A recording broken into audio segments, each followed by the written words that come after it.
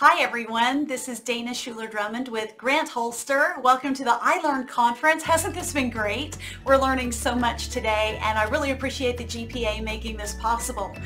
Since Grant Holster is one of the sponsors, I've got this opportunity to spend a few minutes with you, and uh, I'm excited to do that. Uh, now, I don't want to make it a 15-minute commercial about Grant Holster, which, by the way, is the first grant process management application designed for grant professionals by grant professionals. But what I really want to do is share some information that you can use today um, after the conference or maybe even during the conference if you have your email up and you're interacting with people because you've got deadlines, right? What I want to do is talk to you a little bit about the chaos of grant seeking and how to manage the chaos. I've got a couple of exciting things for you as well, so let's go ahead and get started. Creating order out of chaos. This is based on a seminar I presented at the Grant Professionals Association live conference in California a few years ago. We had a great turnout. We had a wonderful discussion. And really this was the genesis of Grant Holster because at after the conference, I thought, why isn't there an, an application that works the way that I work? And you know what? I'm just going to create it. So I did set about to create the system that I needed. But before that existed, I did have to develop some strategies to help take some of the chaos out of the grant seeking uh, process. And that's what I want to visit with you a little bit about today. Okay, here is some really good news. I am teaming up with our friend Jess Pettitt. If you attended the online conference in November, you remember Jess. She was our MC. She is brilliant and entertaining and she and I have become really good friends since the conference and we've decided to team up to present a webinar next week, May 12th at 1 o'clock Central Time. You'll register through the GPA. There will probably be opportunities um, to do that available all over the place. We are going to be talking about bringing order to the chaos that is grant seeking and Jess is going to put her own unique spin on it. I'm going to provide some perspective from a grant professional's um, point of view. Here are some things that we're going to be talking about at that webinar next week. Our list of things to talk about are just in general, let's all commiserate about the chaotic nature of grant seeking these days, and it seems to be getting more and more chaotic. The second thing we want to talk about is that grant seeking process. A to Z. Let's kind of just review what that's all about. Then I want to talk about some proven strategies that bring order to the chaos. These have been developed over a 30-year career and working with all kinds of different people's on, people on grants.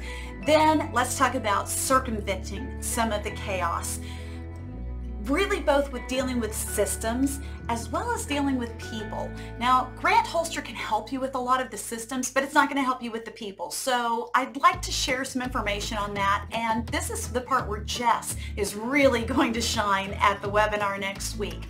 But what I want to do now is talk a little bit about the different types of people that we have to work with. We all want to be Marlene Dietrich and we want to tell everyone to just leave us alone while we get a grant written. Give me the information that I need, respond to my questions, approve things when I send them to you and leave me alone. Let me do my job. Unfortunately, we don't work in a vacuum. We do have to work with different kinds of people. Now, I don't know about your experiences, but I know the types of people that I have to deal with on a regular day-to-day -day basis. Let me tell you about a few of them. First, we've got the program officer, and these are wonderful people who are very focused on the mission of the organization. Maybe they work with your clients. Maybe they do uh, other kinds of activities. They're really good at doing their job. They don't really understand the grant seeking. They don't see the connection between the mission, the vision, the grants, the outcomes, the outputs, the logic model, and why you need to write a five-page proposal about all of that. They just want the money so they can keep doing their programs. Sometimes it's a challenge to work with these folks as wonderful as they are. The next group that I have to work with a lot, a lot of times it's maybe the finance officer, the accountant, the COO, and they are the numbers people. They just want to um, know what's coming. They get very anxious if you surprise them with anything and they want to know exactly what's going on at all times and what the bottom line is. The next group of people that we all have to deal with from time to time, and as somebody who comes from a development background, believe me, I'm not casting any shade on anyone, but the divas. development people tend to be the divas. They want to go have a glass of wine or they want to go on a retreat or they want to uh, cultivate uh, a new prospect and they don't really want to spend a lot of time and attention on the nitty gritty stuff, the writing, the grants that are going to get them some funding.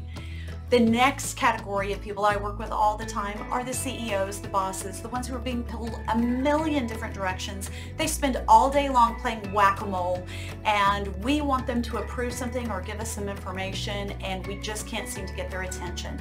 This is another group we work with a lot. Now, how do you categorize these people? How do you develop a strategy to work with them? Well, there are some things that you can do and there are some things that I've done over the years and uh, techniques that I have found that seem to work pretty well.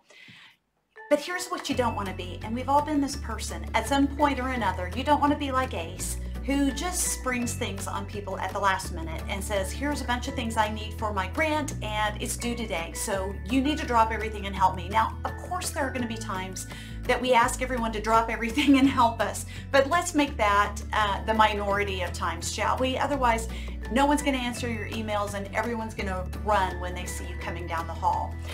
I read a book a few years ago called Non-Manipulative Selling, and it was a really good book, even though it was about sales. Um, a lot of the really good stuff in it though was about identifying different people. Now we know nobody fits into just like this little um, nook um, of personalities. But in my mind, when I'm dealing with people, I try to think about them in these kinds of perspectives. Now, I will tell you that next week when Jess is with me on this presentation, we're going to be using, um, you're not going to see this. We're going to be talking about some other things. And that's really the flavor that Jess is going to bring to it is talking about different types of people and what their motivations are and how to work with them. But for now, we're going to be old school and we're going to talk about these. We've got four categories, thinker, the director, the relator, and the socializer. So I want you to think about the people that you work with and which category they tend to fall into. Now, one really good way of deciding who someone is is based on what their office looks like. The thinker probably has an office that's very spare, very little pers very few personal items. Things are very organized. They're very neat. Um, they do want um, um, order for everything. And so if you try to spring something on them, if you only give them three days notice before you need to know what the budget is, um, they may not be very cooperative. So the best way to deal with them is to give them a long, long view. Give them an annual calendar, give them updates, let them know what's coming and what you need and, uh, and when you need it. And they'll be a lot easier to deal with. The next person is the director and uh, their office is usually piled high with files. They usually have big desks and they have bold colors. They have big computer screens and yes, this is me, so I feel for this group. Um, they have a terrible memory, just like me. So if you pass them in the hallway and you say, by the way, I need to know about that ABC Foundation grant, and they go, absolutely, I will get that to you. They aren't lying to you. They really did intend to do it, but then they forgot. And probably because they've just got a lot on their mind. So what do you need to do with them? Well, Assume that they have forgotten what they need to do. Give them a quick list of what you need from them this week. Here are three things that I need from you by noon on Wednesday. And then come Wednesday, say, just a quick reminder, here are those three things I need from you by noon today. Um, it keeps their memory fresh and, and helps them. Keep emails short when it comes to these folks. They're not going to read a long email. Okay, these are some of my favorite people, the relator. You walk into their office and it's very soft colors, it's very warm, it's very inviting. Lots of um, personal photos, mementos, um, just little trinkets that have a story behind them. Okay, you know these people, right? What's so great about them is that they are so good at relating to people. What's so bad about them is that sometimes they don't understand that they've got to to uh, to really get some data to you or they've got to get information to you that it's not all about touchy-feely kinds of things. So a really good way to deal with them is to just really sit down and talk with them about the things that are going on and if things are running late and it's causing you anxiety you know, share that with them.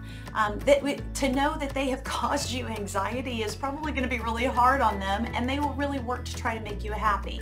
So, uh, and then afterward, send them a nice little note, even if it's a sticky note saying, hey, thanks for your help yesterday, or a, an actual thank you note, or a cookie or a balloon or something. They really respond to these things and it's a great way to get them to help you. I've got an alarm going off probably something I need to do, but you know what? I'm a director and I forgot what it is. All right, socializer. Here's another one, and they're an awful lot of fun to be around, but they're really hard to nail down, especially on details.